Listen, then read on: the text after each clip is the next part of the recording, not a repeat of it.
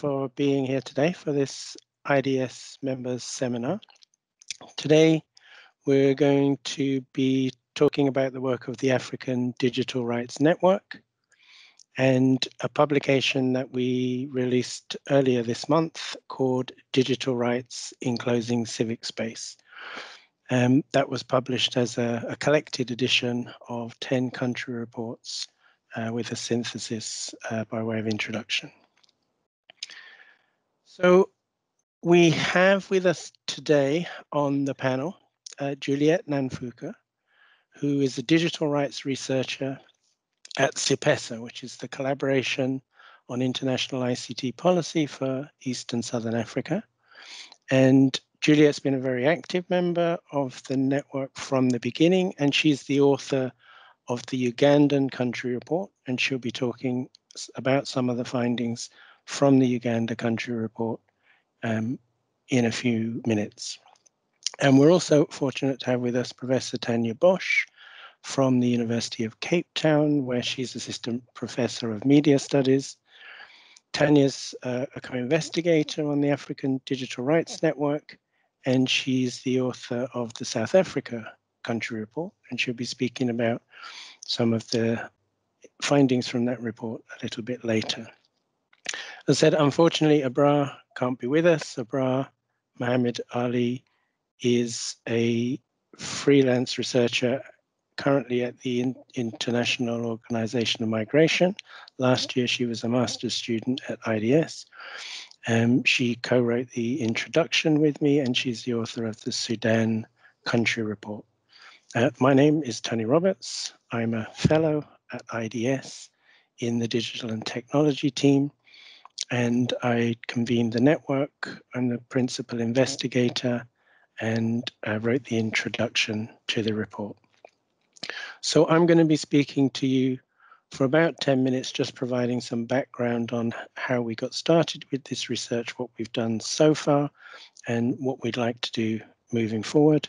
And then I'll pass over first to Juliet, then to Tanja, and we should have plenty of time after that for your questions and a, a discussion with you and the two panel members.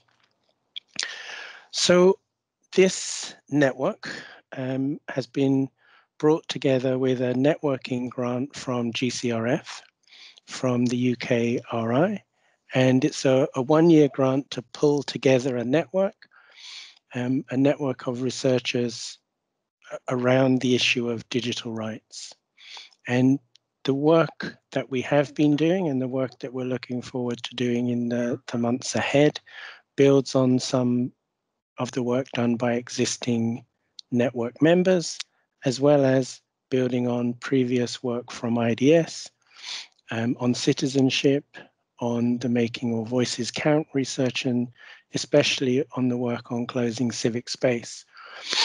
And that was my route into this work. So when Naomi Hossain was here, um, she asked me to write the Ethiopia country report for the closing civic space work that she was doing with then DFID and ACT Alliance.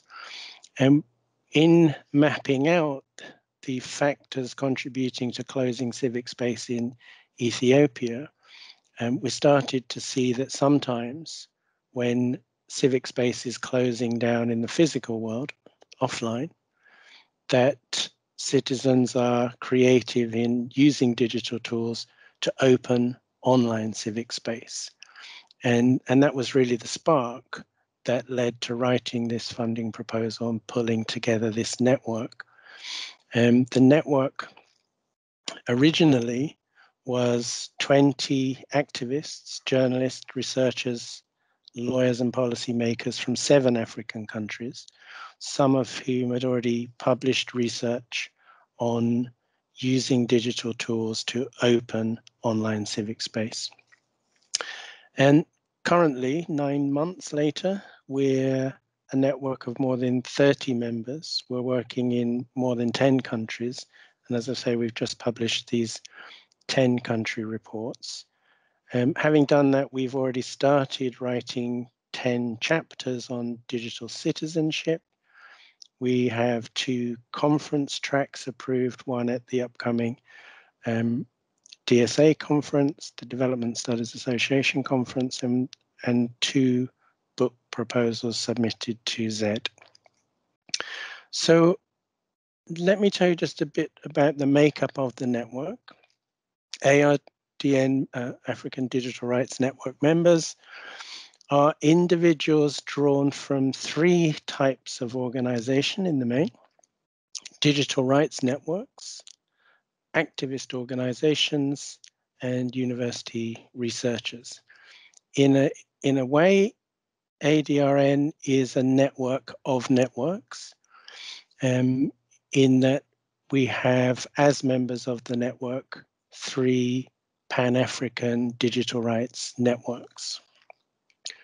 We also have members drawn from individual activist organizations that may be working in a single country or on a single campaign area. And we have members drawn from universities in Africa and in the UK. The original grant, by the way, the networking grant was to bring together UK researchers with digital rights researchers, researchers from African countries. So these aren't all the organizations, they're representative organizations, but I just wanted to give you a feel of the kind of organizations in the network. And what we've been focused on in the first six months and have, and have now published is this collection of country reports, reports from, from these 10 countries. countries. I'm just getting, a, a, lot of feedback, now. If somebody's turned on their mic, could you just check your mics are off? Um, so we've been focusing in the, thank you, in the first six months on publishing this 250 page report comprised of 10 country reports looking at um, the use of digital tools to open online civic space and just, sorry, let me just stop that flashing. It's getting a bit annoying. Um, what we found, the, the kind of top line findings when you read across the 10 country reports is that we were successful in finding what we expected to find, lots of examples of the creative use by citizens of digital tools to open online civic space. I think when we set out, speaking for myself, I, I thought that would be our contribution. I thought we would be able to um, elaborate on the wide range of tools and tactics that citizen-led organizations were using when offline space was closed and to open up new space online. But what I wasn't expecting to find was that there were, we identified many more examples of online civic space being closed down, primarily by governments, um, but also by corporations and by misogynists who are using an even wider range of technology tools, tactics and techniques to close down that civic space. Um, and when you read across the 10 reports, you, you get a sense of this dynamic toing and froing uh, openings and closings of civic space using a very wide and growing range of tools and tactics. And of course, the internet was invented for cat videos. Um, and uh, I, when I read across the report, it reminds me of a, a kind of a game of whack-a-mole that fairground attraction where you have a mallet and you're trying to whack the moles down the holes.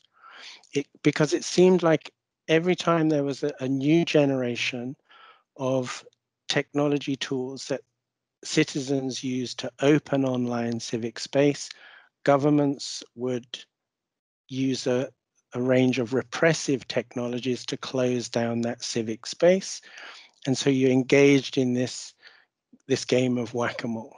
And that happened first with SMS activism, um, followed by the use of blogging to open online civic space and social media. And, and every time citizens innovate, the use of new digital tools, three or four or five different state responses are used to effectively close off that online civic space. And this is a, an ongoing process. People are still using SMS, they're still using blogging, um, but no matter how many new tools are used, um, governments, corporations are endlessly innovative in closing down those civic spaces.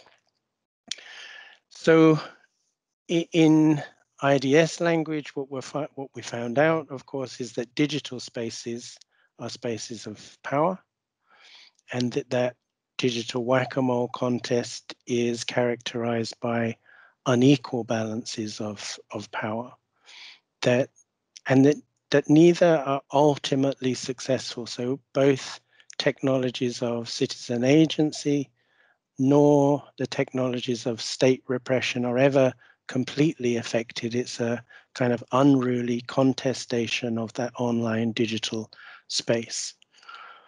However, the technologies of repression are, are much better resourced than the technologies of citizen agency.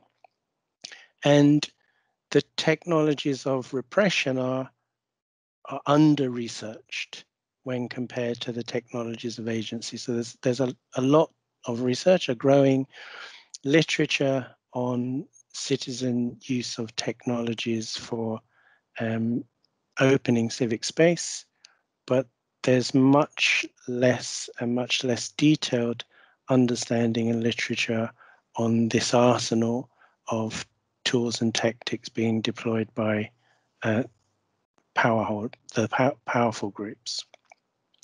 And the other kind of top level finding is that we need to do a lot more capacity building because the reports show quite clearly that in each country there's insufficient capacity on the part of activists, um, university researchers, um, legal scholars on who is using which tools and techniques to close down civic space. So there's a great need for further research and the building of capacity on the ground in each country to effectively monitor, analyze and overcome online repression. So I think that's all I wanted to say by way of introduction. I hope I've given you um, an understanding of where we've come from with this research, what's contained in those initial, the preliminary country reports, um, and maybe later we'll talk a bit more about what we want to go on and research in the future. But at this point, I'd like to hand over first to Julia and then to Tanja to give you um, some insight into the reports that they've they've written. So, Julia, if I just unshare my screen, uh, when you're ready, if you could uh, tell us about the Uganda country report, please. You're still muted. It's very typical of me to talk without unmuting. Um, great. Thanks. Thanks for that very insightful um, intro, which pretty much has covered everything that I wanted to say. Um, I wonder if I should share my screen. I had, uh, as you were talking, um, thought of a presentation I did not too long ago, and I thought maybe it might be a good company to to what I'm talking about. Is my screen on your screen? Yes. A full screen without my notes on the side? That's right. Okay. And as you're talking well, about no, I've sorry, I do see the notes on the side. I can see the other slides that come next. Great. That's um, it. As uh, as you're talking, you were essentially narrating the case of Uganda, and I guess that of many other countries, um, with regards to civic space. I'll look at it through the lens of elections, which we held here just uh, in January, and a look at um, the report through the lens of closing um, uh, civic spaces in the online arena during times of elections. And this has been something that we really enjoy doing in Uganda. It started as far back as 2011, if not earlier. Um, and yes, so SMS was one of the first areas that we shut down. And this was in the wake of the Arab Spring when there was just a general fear in um, the continent about the various other, that the various other dictators had at the point in time. So it is here that we have a very obvious attack to um, civic spaces online in the form of blocking SMSs. This, we've been having the usual blockings of media houses, journalists being arrested. That has continued to this day. But um, this SMS block was very direct. It was a very blatant um, attack to citizen organizing, organizing, movement building, and just interacting at that point in time. And it has evolved over time to blocking um, social media, of course, uh, through to GitHub, where coders are trying to, you know, do their work. Um, virtual private networks, VPNs that people had started using to overcome um, some of the blocks that they have uh, had to face uh, during times, um, elections. But um, I mean, some of this only emerged after we had already worked on the report, but we also experienced blocks to spaces like Google, Google Docs, um, which was rather strange. But nonetheless, it, it, it, sh it shut down quite a bit of organizing, quite a bit of work um, in, in, that, in that space. But alongside this, in the case of Uganda, we have also had disruptions to simple transactions via mobile money. Mobile money is uh, the primary avenue that our largely informal sector society uses um, for financial exchange. Um, so when that is blocked, you are essentially shutting off people who half the time are not even online anyway.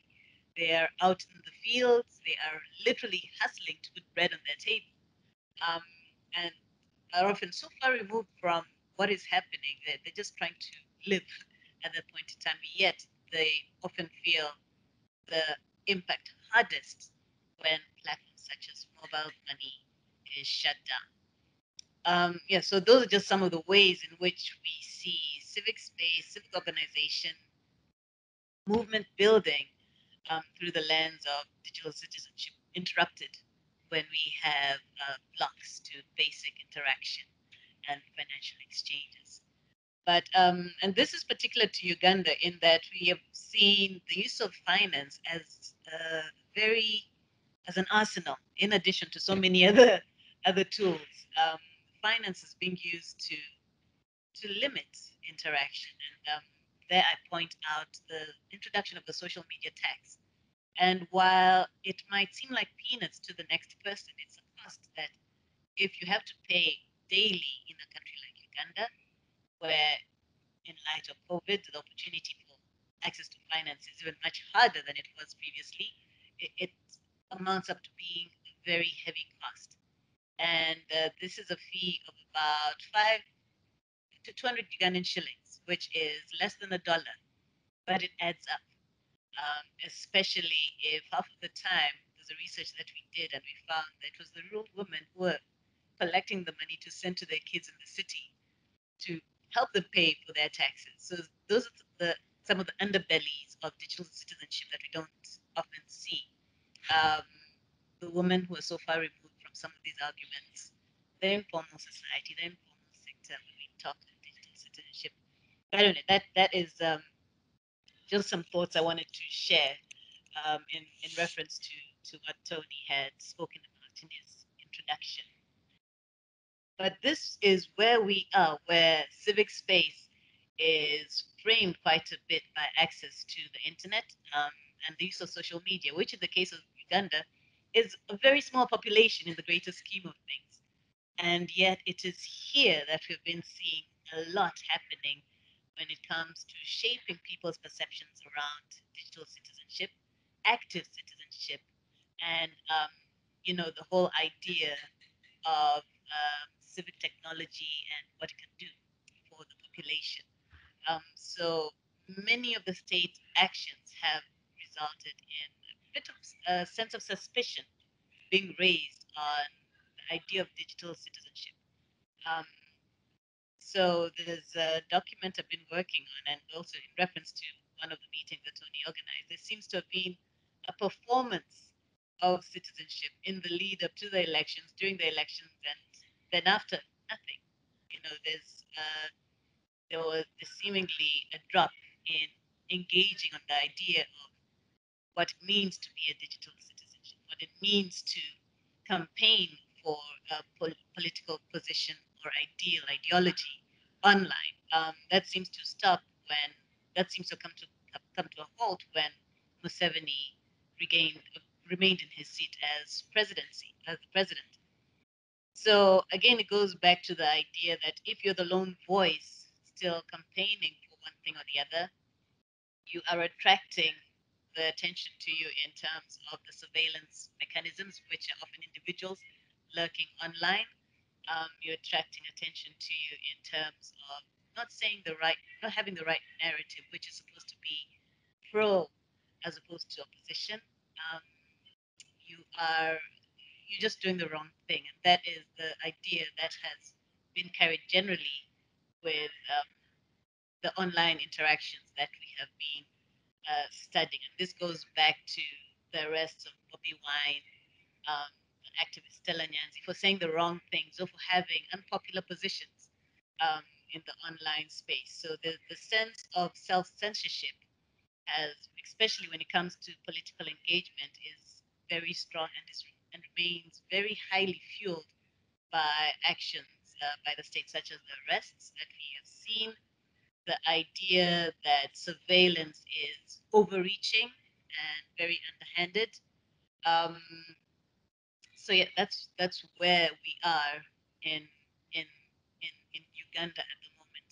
But I think it's also accompanied with a sense of helplessness. There was somebody who said, "I've been a citizen in this country all this time, but it's got to be nowhere." Um, in we're still the same person 40 years and running and counting still.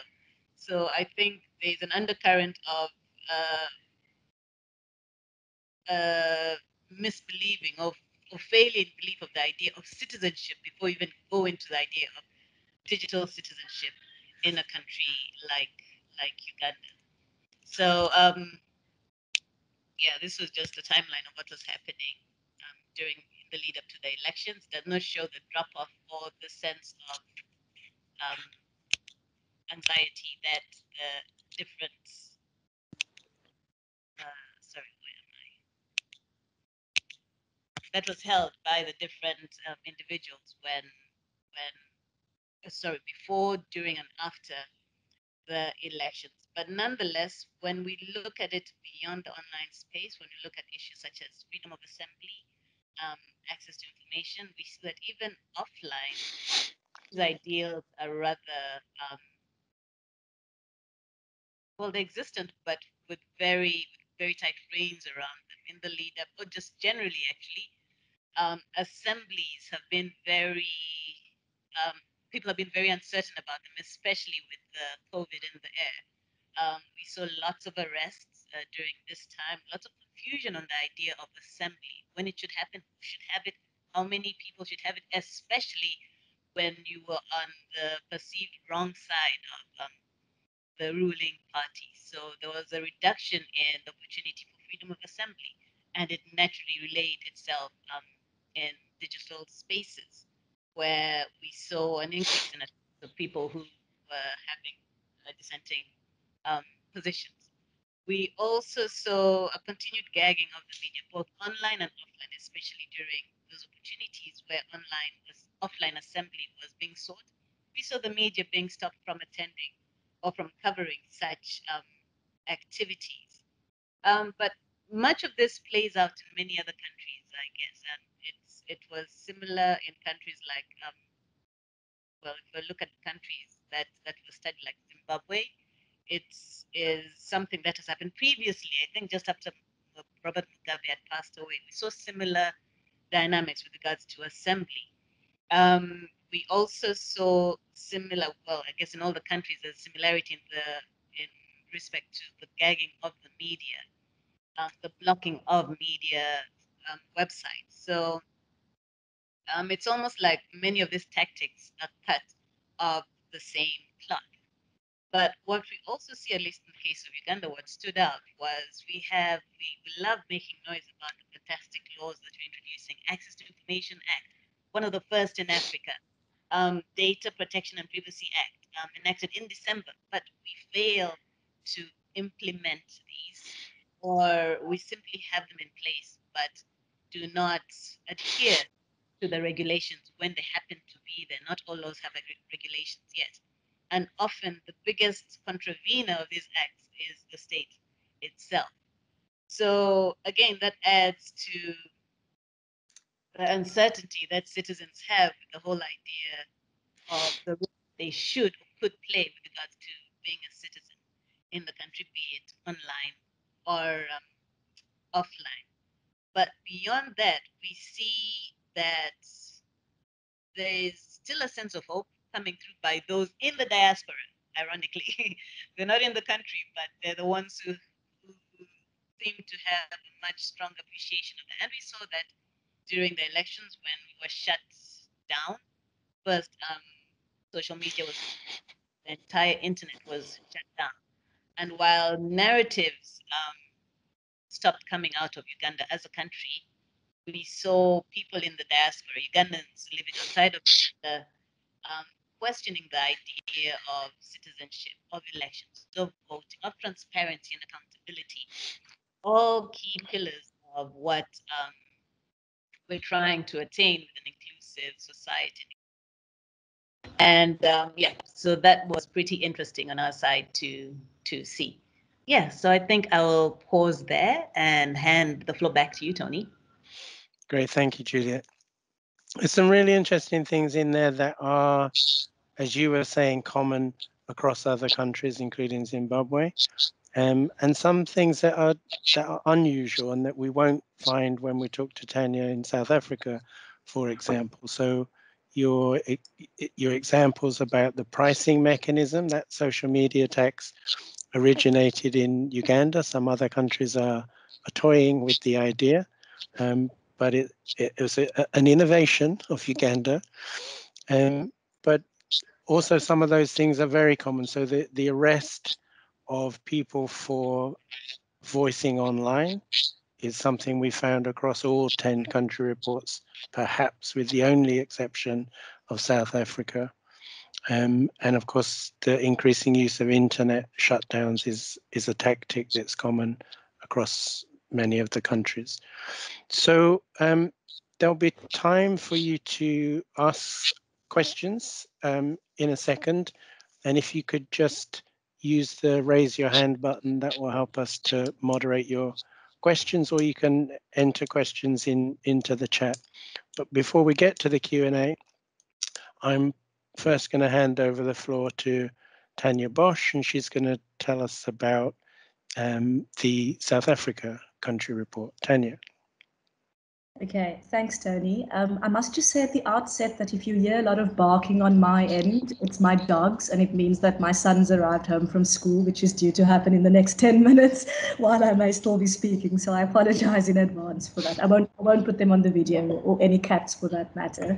Um, so thanks, Tony, and hello, everyone. It's really um, great to be here, and I look forward to your questions. I don't have any slides, Tony, and I'm going to keep this really quite brief. So um, I'm going to speak very briefly, by way of introduction, about the political landscape in South Africa, although I realize many colleagues may be fairly familiar with this. Um, I'm going to talk briefly about access to the internet and the digital divide. Um, I will speak briefly about the civic space landscape in South Africa. Um, a little bit about government, some, some government repressive practices that have served to close civic space, especially during COVID-19. Um, but the real focus of my presentation, I suppose, in the South African context is about the use of social media, which has really served through various hashtag campaigns to open civic space in South Africa.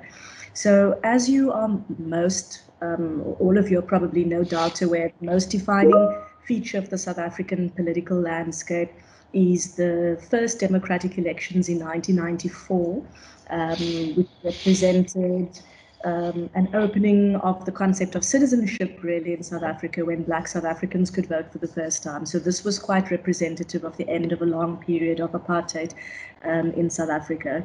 The African National Con Congress, the ANC, which was the former Liberation Party, um, won that election and has continued to dominate the election since. And one of the key critiques of our um, political landscape um, seen um, still in some ways as an emerging dem- democracy is that we don't have a very strong political um, very strong political opposition. Um, another key feature is that um, many of South African citizens are not seeing the dividends of democracy, um, the things that were promised them by the former Liberation Party when they came to power in 1994. Their slogan was jobs for all, housing for all, um, etc. And we see a real explosion of the civic space landscape in the post 1994 context a large network of citizen associations, NGOs, and CBOs, and many of them campaigning precisely around these issues issues of service delivery, access to running water, informal settlements, electricity, housing, um, land issues. Um, and, and so on. Um, this civic space landscape is also dominated by declining funding. So, in the apartheid context, there was lots of international donor funding, and the narrative from international donors has really been, well, you're a democracy, um, you've got to sort yourselves out now. So, uh, a, a, massive issue around funding. Um, and also low access to digital technology um, in, in many of these civic service civil service organizations. Um, I'll come back to that in a second, but just to point out, particularly since my focus is around the use of social media to open space, civic space, um, I want to just say a few things about access to the internet. So, um, while the numbers are fairly high for the continent, um, if you look internationally, access to the internet, access to broadband internet is still extremely low. Um, very poor infrastructure in terms of broad broadband telephony. Um, but increasingly, um, I think there's something like 60% internet penetration, and much of this, or most of this, in fact, is by, via mobile telephony. So there's been a massive explosion across Africa, in fact, but particularly in South Africa. Um, people are much more connected uh, or, or, connected to the internet now um, due to the mobile internet. Um, but of course, there's still some issues related to the so-called, you know, digital divide with, within the country. So, for example, data costs are very high. Um, people can purchase smartphones on a, on payment plans, um, for example, but accessing data is still high. Um, there was a survey a few years ago, and I'm, I'm, not sure how current this is now, but it showed that um, in some communities or among some groups, people spend as much, or if not sometimes more money on data to access the internet than they do on food, on, on groceries. Um, so, so that's still um, quite an issue when you want to talk about uh, issues related to digital citizenship. So I've talked about the civic space landscape, this proliferation of civil society organizations, um, the fact that South Africa uh, has it has quite progressive policy, which allows for protest, um, for example. But at the same time, we have very much the, the, the closing of civic space with increasing police violence. Um, for example, the Marikana massacre um, that may have made it to the international news media, in which 34 miners were killed, and which and in which the mainstream mass media was actually quite complicit in in developing um, a particular narrative, you know, negative perceptions around the the, the protesters. Um, so protest is this democratic right in principle, but we still have a violation of these rights, which often takes place.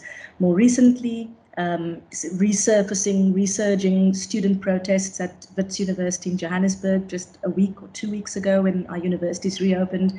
Um, a, a, a, bystander was killed, was shot and killed um, in, in, you know, in, in these protests. So you have this very heavy-handed police violence, really um, a throwback to the kind of apartheid era of very extreme police violence, which makes it very difficult um, for people to protest in in particular ways. So you have the state repression really limiting um, civic space and opportunities for people to to to protest.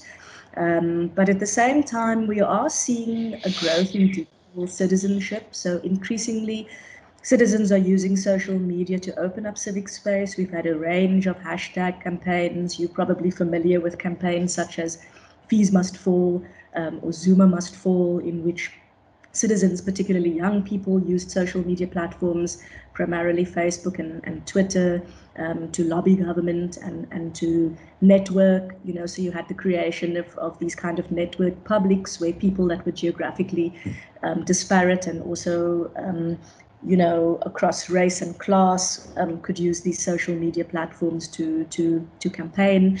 Um, and we really, I think, what's probably interesting, and I have, you know, I'll speculate about why we see this, is that we are not really seeing um, government play a key role in terms of trying to shut down this this space. So government has attempted in other ways. During COVID, for example, government has awarded itself new surveillance and policing powers. Um, government um, tried to pass um, the Regulation of Interception of Communications and Provision of Communication Related Information Act in 2005 that attempted to surveil citizens by intercepting their communications. This was challenged uh, by a civic society group in the in the South African High Court. Um, you know, so you have this growth in in digital citizen citizenship um, and government hasn't, as we see in some of the other country reports, that, um, had internet shutdowns, for example. Um, there hasn't been a, a, wide prevalence of sock puppets and botnets on Twitter, for example. Um, there have been some sporadic moments at which this happened. So during the uh, President Zuma presidency, there were some pro-Zuma fake Twitter accounts, but this isn't this isn't really um, a, a regular occurrence. And in any event, civil society has very low capacity to, kind of monitor this kind of government um, intervention. So I think that perhaps the picture is not completely clear. We need to do more research here to see exactly how government may be intervening in some of these digital platforms and, and spaces. But I think the key issue here is really just that um, many of these hashtag campaigns are very much still um, middle class campaigns, people who have access to data. We have 11 official languages in South Africa. These debates all take place in English. Um, on social media platforms, it's completely English. English dominated. There is the growth of Black Twitter in South Africa, but not not used very much for political political debate so much as it is used for conversation around things like the the Sunday reality tele- television shows. Um, so government is not really threatened by this. Um, fees, mu- fees must fall, I think, is a anomaly um, to this, where we, there was actually some kind of um, result from the hashtag activism, and that is that government imposed a no fee increase. Um, but it, it, it, the, you know, these campaigns, I think, while they um, are quite important because they do create these network publics. They do set agendas for the mainstream news media. Um, they do um, allow citizens to create their own narratives and in doing so open civic space. They don't represent a real threat um, to government, which is why we haven't had the same kind of heavy-handed response um, that we have had in, in, in some of the other African countries, where I think these kinds of campaigns are much more used by um, mass public. Um, they're, they're, much more wide, widespread. So really just, I think that um, the political landscape in South Africa provides positive benefits for digital rights in the form of our rights-based constitution. We have a very strong established culture of civic activism um, and strategic litigation to contest breaches of, of human rights. Um, the, uh, unlike in many countries in the region, South Africa hasn't sought to limit space with laws or regulations, um, internet shutdowns. Um, we haven't had the arrest of citizens, bloggers, or journalists for expressing dissenting views online. Uh, but again, again, I think um, the, the, the, the, other side of that is that you do have a kind of culture, you know, spiral of silence. Um, you know, there is quite a strong, um, you know, the people who, form, who create these online narratives. It's a small group of people um, that post often. Um, in other words, it's not the majority of citizens that are participating in these kinds of in these kinds of online spaces. And internet, smartphone ownership, and affordable mobile data are not evenly distributed. Um, so this is a real limitation to, to, to do citizenship. Um, and it also means, therefore, that the right to online freedom of opinion and expression and to freedom of information um, are also are also unequal. Um, and I think that this will probably shift in the South African context um, as as time goes on. And what's probably of concern is that there's currently a very low level of um, civil society capacity to effectively monitor and counter these measures um, which could shrink effective civic space or, or curtail um, digital rights. So Tony, I think I'll just leave it there. I think I'm already a little bit over my 10 minute allocation. Thank you. Great, thank you. So I'm going to start taking questions in a moment, so please either raise your hand or type your questions into the chat box. Tanja, that was really interesting, and, and I think it's worth pointing out that South Africa is the exception. Across those 10 country reports, South Africa is the only country where there were no internet shutdowns. South Africa is the only country where people are not being arrested for online speech. Um, so it's good to have that kind of counterpoint for uh, for the range of um, digital rights environments that exist across the countries. Um, but one of the things that was common, I think, and, and certainly common with Uganda, was how some of those hashtag campaigns in, in the case of South Africa, the roads must fall, fees must fall campaigns in Uganda, the free Bobi Wine campaigns were went viral. They went viral within the country and they also went viral internationally. And in both cases, we saw the importance of diaspora voices in taking what were initially local campaigns national and then then international.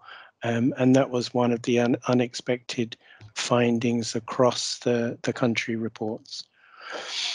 Okay um, so i know we've got people in the audience who have also been doing research on closing civic space in in times of covid so we may have a discussion around that um, but uh, who would like to kick us off with the first questions for Julia or Tanja?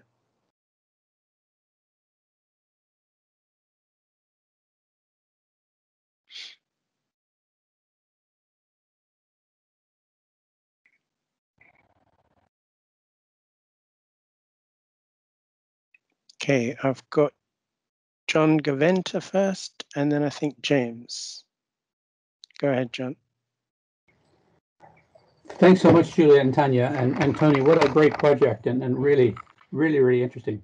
As Tony just mentioned, I've been part of a team that's been looking at the opening and closing of space under COVID. And I wonder if, um, and we've looked in Mozambique and and Pakistan and Nigeria as our focus countries, not your focus countries.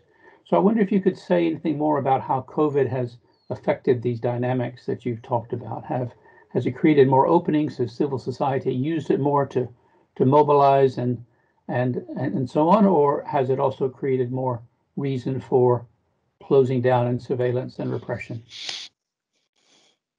Thank you.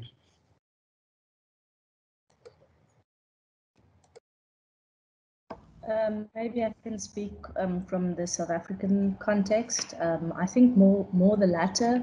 Um, so you know, with a with a state of disaster and a national lockdown, um, we, you know, again had very heavy-handed policing, people being injured and killed in some cases um, by police uh, who were enforcing enforcing the lockdown. Um, you know, the government of South Africa used the national state of disaster to grant itself broad powers to do what it considered necessary to save lives. So powers of surveillance, um, emergency regulations compelled cellular mobile, mobile cellular providers to disclose the locations of possible contacts who, who might be infected with the coronavirus. Um, there was some contesting of this and some amendments were issued by government, um, but but really, you know, the, the government was really using the opportunity to pass regulations um, you know, that gave them greater powers of, of surveillance over citizens um, using co the COVID-19 pandemic as, as a kind of um, excuse excuse to do so. Um, you know, new powers were extended to the army, for example, that was brought in, in into South Africa um, to to um, enforce the lockdown rules. So wide wide-ranging human rights abuses. Um, social media was used by citizens to to document this. So there was a lot of citizen citizen journalism, um, you know, to, to, to, you know to document this kind of um, police brutality, but technology was a major part of South Africa's COVID 19 strategy. So, raising key issues around surveillance and um, surveillance of citizens. Yeah, so so I think in the COVID nineteen context, government sort of had an excuse to increase, you know, to attempt to kind of increase policies around surveillance and increase this heavy-handed kind of policing and shutting down of protest um, and, and that sort of thing. Thank you. Juliet, do you want to come in on that before I take another question from James? Um, yeah, I, I, think in the very similar situation in Uganda, um, only that we had an election to contend with, so it was perfect for the state to use COVID. Um, it, its efforts to limit assembly um, engagement, but to also curtail some of the some freedom of expression online. Um, but maybe not to the extent that Tanzania took it, but we did have some arrests. But we saw COVID being used um, against many opposition um, party actors, even when they were trying to adhere to the standard operating procedures, which half of the time um, the president may not necessarily have been following himself. Um, so that was interesting. We also had issues, concerns around um, uh, data privacy. We had just, um, well, just enacted privacy law, but the extent to which it would apply when it comes to COVID is proving to be something very different. Um, a few weeks ago, there was arguments around whether one would need to have a national ID in order to access the vaccine. Um, so again, issues around digital citizenship. Many people have failed, been failed by the states to access uh, um, a national ID, and yet here we have the same state now potentially denying them access to a vaccine.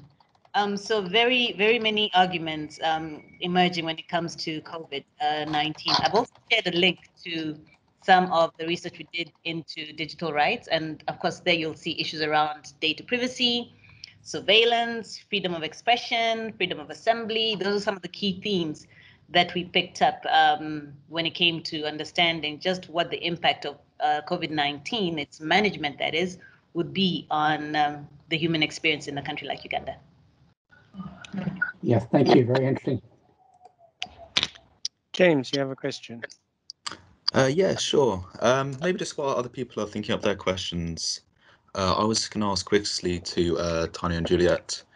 Um, as digital rights become ever more important on the African continent, I guess my question is, where do you see all this going? What do you see as the future within the, you know, the next kind of five-year span? Um, and I guess on top of that, where do you see hope? what do you think are you know things to be you know hopeful for to look forward to um, you know in all these uh, digital spaces that you're studying? Big question.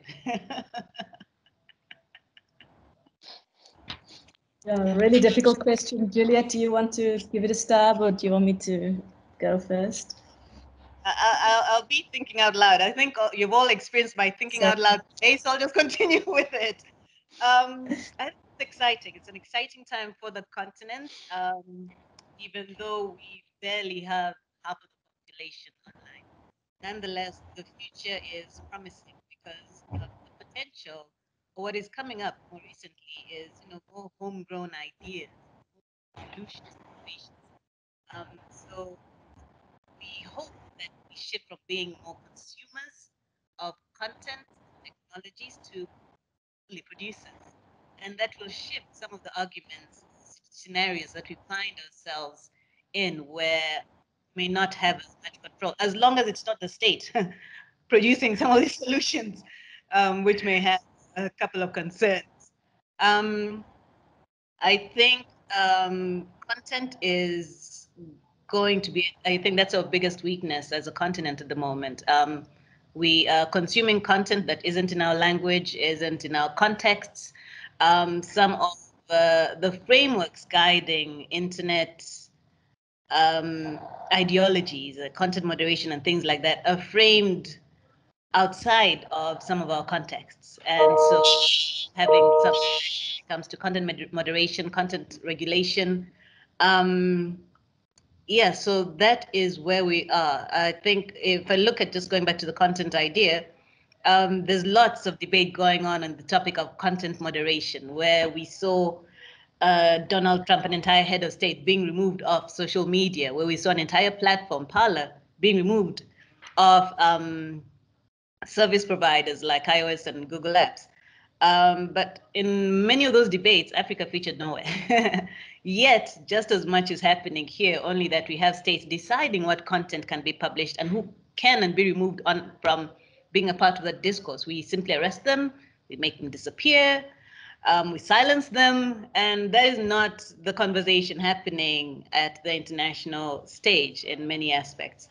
Um, so yeah, we need to understand some of these dynamics better from our perspectives, which is why much more of this research is, is needed. And as Tony had mentioned earlier, we need to understand the technologies of repression, which we are simply in from all these other countries, which appear seem to be doing well on their fronts, but we are consuming um, their, te- their technologies, are questioning what it means for, for us as African countries or sub-Saharan sub-Saharan states. Um, yeah, so I think that's that's where my rambling will end for now. Okay, maybe just briefly to come in and say, I mean, I wouldn't want to be branded as being a techno optimist or what's the term, cyber cyber optimist or techno optimist. Um, but I think um, the growth of this digital citizenship um, is very promising. I think, especially in the South African context, where we still, we really still see the history of seg- segregation, apartheid geography, uh, separated neighborhoods, you know, racially segregated schools, even though you know they're not legally you know, public spaces like schools and so on are not legally segregated, but we really have a huge, um, I mean, class and race are, are, are, very much conflated in the South African context. Um, so I think that digital space really provides an opportunity for people um, from across the country, across race and class to come together and debate. Um, I, I, recently did some research, um, the chapter on race and Twitter in my book, Social Media and Everyday Life in South Africa, um, that showed that despite what one might think, you don't have huge degrees of online incivility. Um, at least this is with a very small sample of tweets. When people talk about race in South Africa, there's real, there's the potential at least for real dialogue and debate and, and discussion. Um, I also think that you've got in Africa this. Um, we, we also there's this global trend to political apathy, and we're seeing this, beginning to see this at least in South Africa as well, especially among youth um, pe- people of voting age between the age of 18 and 25. Um, I think that social media plays a key role in the formation of what Bennett and Segerberg talk about connective action. So people using social media for personal um, storytelling, personal act, act, action frames, um, people uniting around issues by which they are personally affected, but which are actually quite political, but not participating in mainstream um, party party politics. Um, and increasingly, you have the formation of these kinds of campaigns like Fees Must Fall and Roads Must Fall that have these quite flat leadership structures because social media kind of enables that. Um, so I'm not sure if that's maybe that's too much hope, um, but I think you know, I, I, think it's quite positive the growth of this digital citizenship and people having access to, um, you know, Twitter and Facebook are not the main um, key, you know, the main vehicles of, of these kinds of um, civic protests, but they do just add another tool. They're just an additional tool for people to use that allow them to connect in ways they wouldn't be able to connect with otherwise, or to convey and share information, um, and, and also to um, influence mainstream media. So I think the big role, I mean, often when you talk to civic civic activists or, or, political activists, they often say that they use spaces like Twitter as a kind of PR tool. It gets the message out, um, it gets the attention of mainstream media. So I think there's a lot that is positive. Thanks for the link. Um, so there, we are starting to get some questions in the chat now. So um, Jackie is asking a question that might open uh, discussion about surveillance technologies more generally, but a question is that in some parts of Asia, there's a tension between economic rights groups wanting um, Facebook, Google, and Amazon to build data centers in the country, and freedom of expression groups who are concerned that those data centers increase their government's ability to conduct surveillance. Are there similar conversations happening in South Africa or Uganda? Um, not really. So I think I don't know about Uganda, Juliet, but in South Africa we have very little um, very little of this kind of conversation, very little focus on people aren't too concerned about their privacy often with these platforms, very little um, understanding or care around issues around you know data and algorithms and, and the political power of these big, corpor- big corporations. Um, we had a brief um, kind of panic around WhatsApp when they, in the recent WhatsApp privacy debacle, and you know, a few people in panic went onto Signal or Telegram for a few weeks, and everyone's back onto WhatsApp again. You know, so so very little of these kinds of debates around the the, the power structure, um, uh, you know, around the ownership of these platforms that that are being used.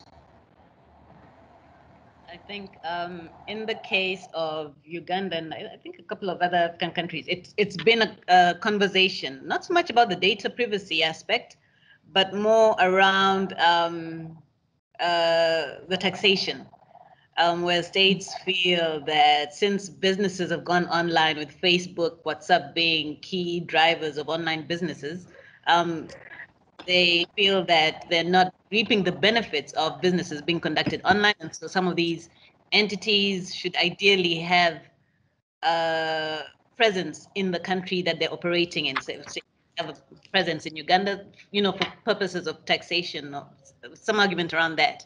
Um, but yeah, that's the best that I have seen, or at least that's the most that I've seen when it comes to the debate. It's interesting, this dynamic between data privacy and uh, freedom of expression. Um, that, that that's very interesting. I think that's something that we should also look into. Um, maybe people are talking about it, but we haven't picked up on it uh, yet. Um, yeah, so thanks, thanks for bringing that up, Jackie. So, um, Bat and I, I hope I'm pronouncing that right, is, is asking some questions about, you know, how do you make the internet a free space. And I, I, wanted to use that as an opportunity to come to this issue of, of the legal environment because there was only one category that occurred both as a positive tactic in opening civic space and as a negative way of governments closing down civic space, and that was the writing of new laws. And Juliet, you've talked about um, the, the positive side of that in Uganda with the government bringing out freedom of information laws, um, but also the there are lots of new laws that constrain civic space. And I think you also said that whether or not you have a law is a different issue than whether or not that, that rule is connected in practice.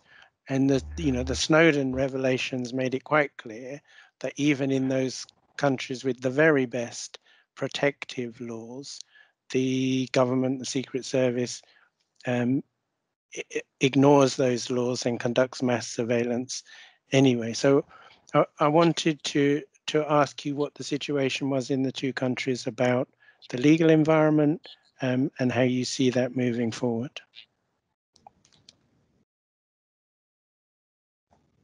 And you'd like to go first?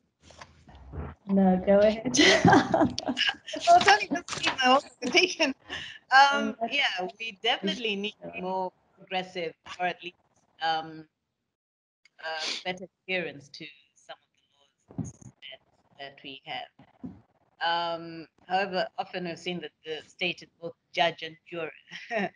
um, we do not have, sometimes we'll have consultative processes, as should be respected including in the multi-stakeholder model of the internet, um, is reach decisions more cohesively, um, more collaboratively. However, in recent past, we have not seen this happen. Um, COVID-19 also showed just how quickly states are, ready, uh, uh, ready to disregard the idea of collaborative processing, even though people would appreciate the fact that we need to get through ideas and decisions quickly. Um, yeah, so we keep seeing directives passed, um, such as the social media tax. There was no consultation. Um, it was passed, and that was it. Um, and ideally, the perfect opportunity to engage with each other, to engage with different stakeholders, the public sector, the private sector, rather, academia, the media, you know, the different players, um, on how best this can be approached. There's no guarantee that everybody would say no, definitely not. Um, however, a more informed decision could be reached. We are seeing a bit of conversation around this happen in countries, I think, like Zambia. Um, it? Sorry, I can't remember. But there's something, there's some consultation happening. And if we do more of that with some of the laws that are being introduced, then just maybe, maybe we can have a more inclusive uh, space, a more responsive digital um, citizenship regime in the country. Because right now, what is happening is with every decision of pushing people further and further away from the roles that they could possibly be playing. And we're also using outdated laws or hurriedly enacted laws to also support this further pushing away of civic voice um, from some of the spaces where it's much um, that's that's the issue that, that I see yeah. with the landscape at the moment. And Tanja, I think you were saying, you know, in South Africa, you have a strong legislative base. I mean, the, you've got rights-based constitution and a well-developed um, legal framework. But in your country report, one of the things you mentioned was that the UK and South Africa um, governments were tapping into the fiber optic cable and uh, conducting surveillance that way, despite the laws. Yeah, I think we have a history of, of you know, very strong policy around rights, but this doesn't always, um, you know, isn't always enacted in, in practice. You know, a good example is that we've got one of the most progressive constitutions around same-sex marriage, for example, across the whole of the African continent, but still we have huge um, issues with hom homophobia and corrective rape and violence um, you know, against non-binary people, etc. You know, so it's it's you know, and this is no different in in when you know when you talk about digital rights and, and digital citizenship. You know, so I think there's a bit of a disconnect often between policy and, and practice. You know, South Africa has very progressive policy on a number of things, um, but in practice, this isn't you know always enacted. And and in a way that kind of helps us to draw some conclusions as we've already gone over time um, mm. in terms of what the African Digital Rights Network sets out to do. So we we are we've just got a small amount of funding to do some work specifically around law. So with the Omidyar network, we're going to be doing a review of the surveillance laws that do exist across the um, continent. But as you're saying, the law on its own is insufficient. And the, mm. the Digital Rights Network also needs to do work of um, awareness raising so people know what rights they have, at least in law, um, and mm-hmm. building capacity in civil society so that there are activists are able to advocate around those issues and try to put in make available in practice what's provided for in law. So I think that's a, a, good place to start, uh, to stop, sorry.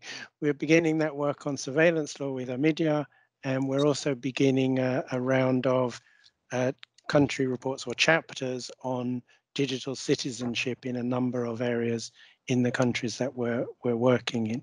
So that leaves me to thank our panelists, Tanja Bosch, um, from the University of Cape Town and, and Juliet Nanfuka from CIPESA and Kampala for joining us in this discussion. And uh, we look forward to learning more um, in maybe six months' time when that uh, digital citizenship uh, research is published. Thank you both for being here and thank you everybody for listening to the discussion and being here with us today. Enjoy the rest of your day. Thanks, everyone. Bye.